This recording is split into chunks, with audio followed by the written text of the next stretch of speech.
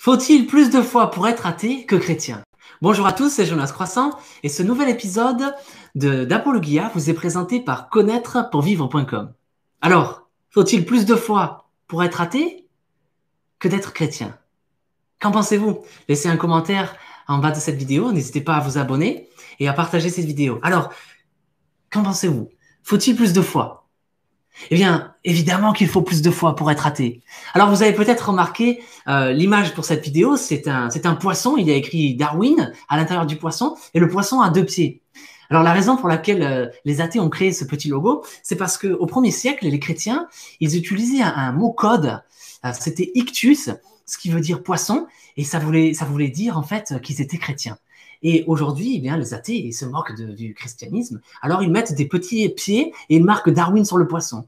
Euh, ils ne veulent pas suivre euh, Jésus, ils veulent suivre Darwin. Ils mettent des pieds. Pourquoi des pieds? Eh bien parce que euh, ils disent que des êtres maritimes ont ensuite eu des pieds qui sont venus sur la Terre pour pouvoir, eh bien, continuer l'évolution et qu'aujourd'hui il y a eu toutes ces espèces. Voilà, c'est ce qu'ils croient. Et c'est d'où vient cette image. Alors, les, que, pensent les athées? Eh bien, ils pensent que des êtres maritimes sont venus sur la Terre, qu'ils étaient dans l'eau et que des pattes leur sont poussées et qu'ensuite ils ont pu commencer à marcher et qu'ils ont pu peupler la Terre.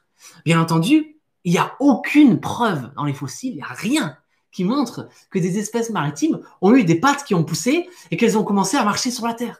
Ils pensent que, eh bien, nous sommes, euh, nous avons pour ancêtres, pour cousins éloignés, des singes et qu'il y a des, il y a des chaînons manquants. Que voilà, on a, on a les espèces humaines, on a l'espèce humaine et que on a euh, les, espèces euh, de chimpanzés et toutes, toutes ces, tous ces cousins. Et ils pensent que voilà, il y a eu une évolution entre entre ces espèces-là et entre l'espèce humaine. J'ai, je suis euh, un ancien professeur de, de chimie, d'ingénierie euh, des matériaux, et je peux vous garantir, il n'y a aucun fossile qui est le chaînon manquant? Il n'y en a pas. Alors on a dit oui, il y avait Lucie, il y avait tel ou tel fossile. Eh bien, les fossiles, soit ils ont été démontrés comme étant des, des mensonges, c'est-à-dire c'était clairement quelque chose qui a été fabriqué comme étant soi-disant un chaînon manquant, mais on s'est aperçu plus tard que c'était un mensonge, que c'était un animal.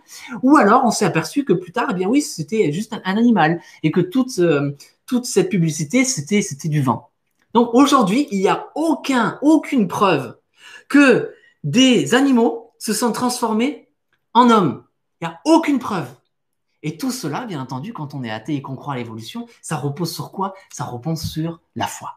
La foi parce qu'il n'y a aucune preuve. Alors quand on nous dit, moi je crois en la science, je crois pas, crois pas en Dieu ou au christianisme, la vérité, c'est que la science, elle ne démontre pas que les espèces humaines, euh, l'espèce humaine est le résultat de l'évolution. Il n'y a pas, il n'y a pas de fossiles qui démontre cela.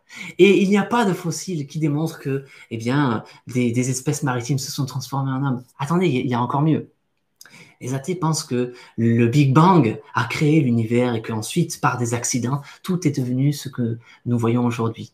Donc, ils pensent que rien a créé tout et que, franchement, en général, les, explosions, ça, ça, détruit les choses, ça dégrade, euh, mais que, bon, celle-là, elle a bien marché, hein, ça, ça a formé, ça a formé tout ce qu'on voit aujourd'hui.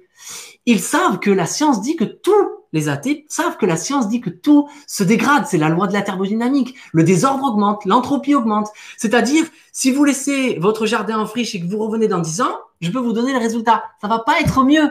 Ça va être le désordre. Il va y avoir de la dégradation des matériaux. Il va y avoir toutes sortes euh, d'herbes sauvages. Ça va être dégradé. Le temps ne fait rien à l'affaire. Le temps dégrade les choses. Rien ne s'arrange d'elle-même. Alors, ça, c'est ce que l'athée croit. L'athée croit que malgré ce qu'on connaît sur l'entropie, la thermodynamique, malgré ce qu'on connaît sur les fossiles, malgré tout ce qu'on sait qui n'existe pas, c'est-à-dire que sans cause, il n'y a pas de conséquences. Sans une programmation, il n'y a pas de programme. Sans un programmeur, il n'y a pas d'information. Ils le savent, ça. Si on trouve un livre dans une forêt, on se dit pas, regardez-moi ça. Les millions d'années ont fait un livre. On sait que quelqu'un l'a écrit parce que ça, dans le vrai monde, ça n'arrive pas par accident, ça n'arrive pas sans quelqu'un. Alors ils le savent tout ça. Et ils disent non, non, mais nous on croit que c'est la science et que c'est le temps qui a fait ça. Le chrétien, il n'a pas besoin d'autant de foi, une foi dans l'irrationnel. Le chrétien, il croit qu'il y a un Dieu, qu'il est tout puissant, qu'il a créé toutes choses. Non, tout ce qu'on voit ici n'est pas le résultat de rien. Parce que dans le vrai monde, tout ce qu'on voit qui bouge, c'est le résultat d'une cause. Le chrétien, il croit qu'il y a une cause. Et cette cause, c'est Dieu. Et il faut moins de foi pour croire qu'une cause a créé quelque chose qui existe plutôt que rien a créé tout ce qui existe. Et il faut moins de foi pour croire que Dieu a créé toutes choses. Et cela représente ce que l'on voit dans les fossiles. Les fossiles, eh bien, ils ne nous montrent pas que pendant des millions d'années, il y a eu des changements. Non, non. Les fossiles, ils montrent que les espèces, elles sont apparues soudainement. C'est ça que nous montre la science. Et donc, faut-il plus de foi pour être athée? Absolument, parce qu'il faut être irrationnel. Il faut croire que tout ce qu'on voit aujourd'hui, eh bien, d'une manière inexplicable, eh bien, c'est arrivé, euh, ce qui est arrivé au début contredit tout ce qu'on voit aujourd'hui, contredit tout ce que la raison nous dit. Mais le chrétien, il croit que toutes ces choses-là, c'est Dieu Tout-Puissant qui les a fait, qui les a fait. Et que Dieu qui est Tout-Puissant, oui, il peut créer l'univers. Il peut faire toutes ces choses. Il peut me faire bien plus. Il peut écrire un livre. Parce qu'il a créé le monde. Écrire un livre, c'est pas compliqué. Et dans ce livre, dans la Sainte Bible, il nous explique que nous devons avoir la foi une foi basée sur l'écriture. Une Bible où il y a des centaines de prophéties accomplies. Une Bible où l'humanité est décrite telle qu'elle est vraiment. Une Bible qui dit la vérité sur l'humanité. Et c'est pour cela qu'on voit qu'elle vient de Dieu.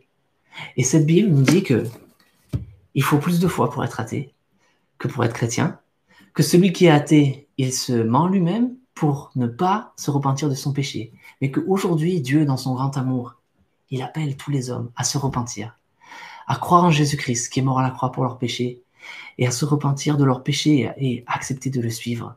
Il a dit, il faut se renier nous-mêmes. Jésus-Christ a dit, il faut nous renier nous-mêmes chaque jour, porter notre croix et le suivre. C'est ça l'évangile. C'est que Dieu, il nous appelle à vivre, pas dans l'irrationalité et dans le péché de l'athéisme, mais dans la foi au Fils de Dieu.